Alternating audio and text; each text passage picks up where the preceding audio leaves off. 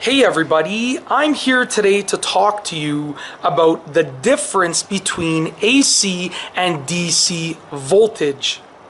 In this video, I will be outlining some of the basics about AC and DC voltage, and I will also be addressing the differences between the two types. AC means alternating current. DC means direct current. The fundamental difference between AC and DC is in the direction of the flow of electricity. DC is constant and moves in one direction. When you put DC on a graph, it looks like a flat line. The direction of AC, on the other hand, changes over time. It has a pattern that is sort of like an oscillating repetition.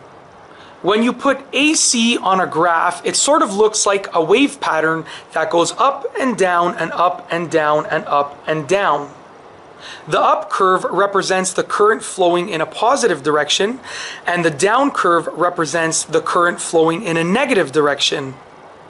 And before I finish this video, I just want to provide you with an example of something that uses AC power and something that uses DC power. An electrical outlet, just like the one that I'm showing in this video now, uses AC power. A battery, just like the one that I'm showing in the video now, uses DC power.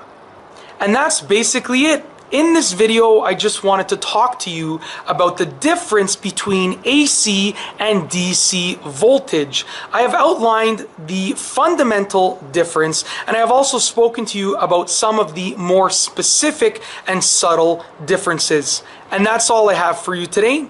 Thanks for watching.